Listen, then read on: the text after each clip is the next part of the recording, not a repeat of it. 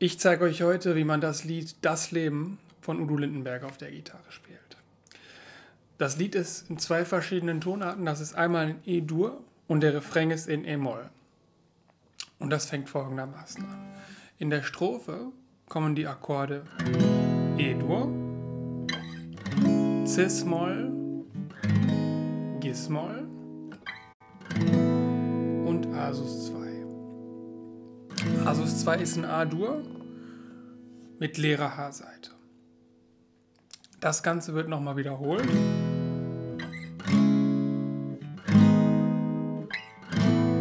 Und nochmal wiederholt.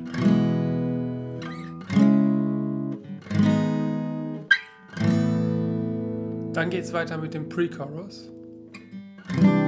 Kommt C-Dur. D-Dur. Dann Asus 2. Und dann G-Dur.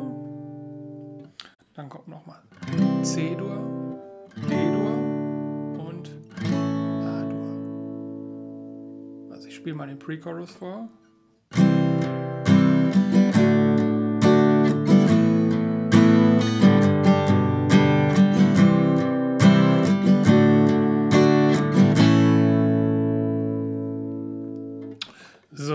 Danach geht es dann zu E-Moll. Und zwar kommt dann ein E-Moll-Akkord, ein C-Dur, dann D-Dur und dann geht es weiter mit diesem Akkord hier. Das ist ein H mit Dissembass. Das könnt ihr euch so vorstellen, das hier ist ein normaler H-Dur und statt dem Grundton wird die Terz im Bass gespielt und die ist hier. Da muss man diesen Barré mit dem Zeigefinger machen hier diese drei Töne und greift hier das Dis mit dem Ringfinger. Dann geht es danach wieder zum E-Moll. Dann kommt A-Moll und normales H-Dur. So, das Ganze wird wiederholt.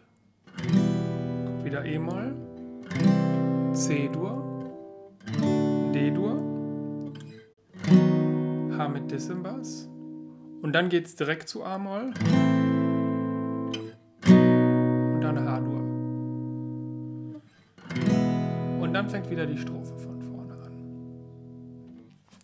Ich hoffe, ich konnte euch damit ein bisschen helfen.